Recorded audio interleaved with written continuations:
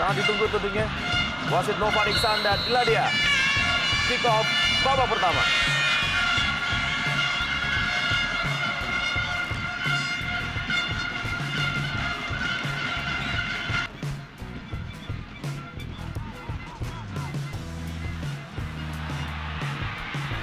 Budi Sarsono.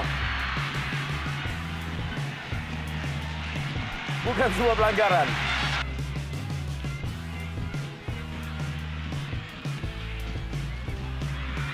Ruang didapatkan dan kita lihat masih ada pengamanan bola dari Zulkifli Syukur.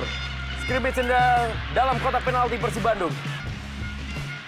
Ruang didapatkan, tendangan keras masih berhasil diamankan oleh Cecep Supriyatna, Benny Wahyudi. Masih ada pengamanan dilakukan tadi oleh Maman Abdurrahman.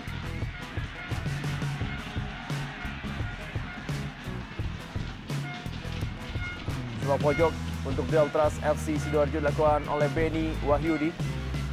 Dilakukan Benny Wahyudi. Sundulan masih belum membahayakan gawang Cecep Supriyatna dari Mio Dadic.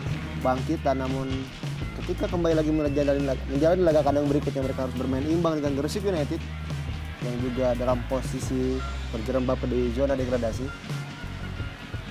Masih ada empat pertandingan ini termasuk menghadapi Persib bagi Delta Sidoarjo untuk bisa mengamankan posisinya di Indonesia Super League musim ini. Tendangan keras berada di atas Mistar dan Mio Dadic sebelah kiri. Kisil Mini Gandrum masih Kisil Mini Gandrum memberikan bola ke tiang jauh dapur. Luang didapatkan oleh M. Fahrudin. Dan inilah dia kick off babak kedua.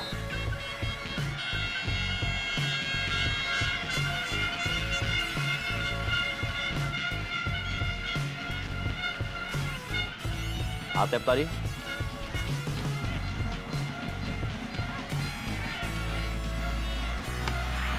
tepis bola tadi oleh Cecep Supriyatna.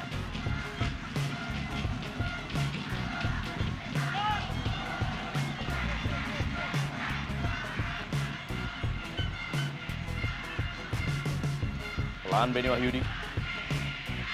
Masih Benny Wahyudi yang mengatur bola.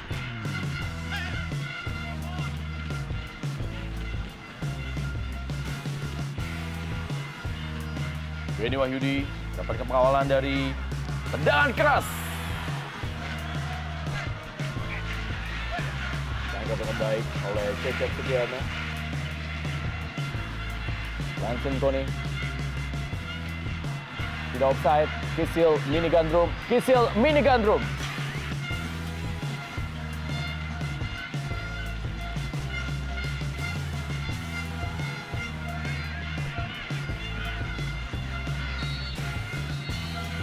Akhir dari pertandingan, Persib Bandung 3, Deltras FC Sidoarjo 1 dalam lanjutan Indonesia Super League yang berlangsung di Stadion Siliwangi, Bandung.